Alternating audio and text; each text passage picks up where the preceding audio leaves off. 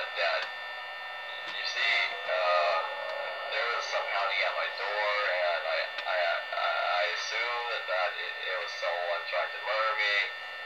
Um, yeah, I, I don't really, I don't, I don't really know if that's the case, but there's, there's nothing to worry about. Uh, I'm sure that everything will be fine. Uh, just keep an eye for anything suspicious, you know sure that the CEO sees that everything's fine. But uh, don't forget the mask. All right, but should be all for tonight. Uh, see you tomorrow.